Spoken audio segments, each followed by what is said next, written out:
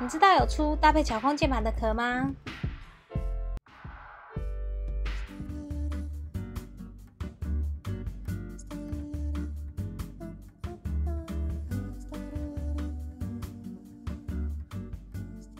？Hello，现在来介绍这个 Cover Body 的 iPad 壳，它呢可以用在巧控键盘上，是不是觉得很特别呢？那我们就一起来开箱喽。它有点像是抽屉式的，把它抽出来，然后下面一样有三个金属快接点，让你的 iPad Pro 以及键盘能同步使用。然后你可以看它的壳是蛮薄的。这底下的话还有一个教你如何安装壳的说明，给大家看一下。我平常只有装巧控键盘的 iPad，你看受伤了，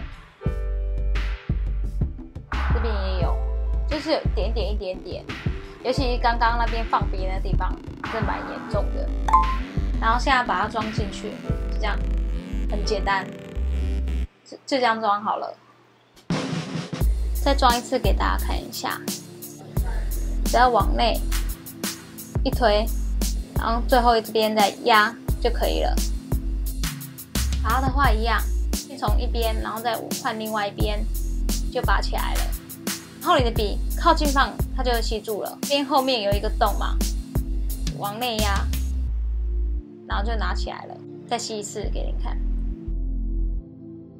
后这样推。是不是很简单？以往我是不太敢买这种的，因为我觉得怕不好拿。但是这个壳真的蛮好拿的，大家可以看到，这样装的话就可以保护我的 iPad 了。看原本受伤的地方，然后下面的话就没办法，因为你要装巧控键盘嘛。那下来示范巧控键盘，这样一吸就贴上了，真的很方便，从任何角度都 OK。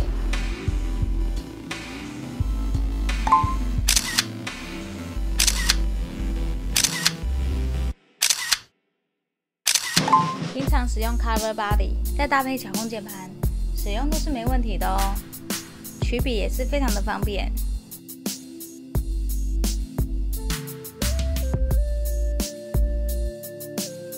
再就是充电的问题，现在我使用的是神送的原厂 Type C 线，然后也是可以插的。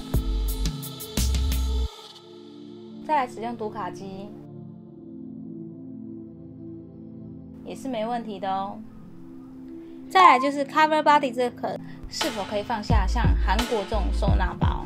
现在示范是没有装巧控键盘的情况是没问题的。再来就是加巧控键盘，大家要斟酌看看是否要拿大一点点的收纳包再装，不然装起来是比较紧一点点。那今天影片就到此为止，我们下次见哦，安妞。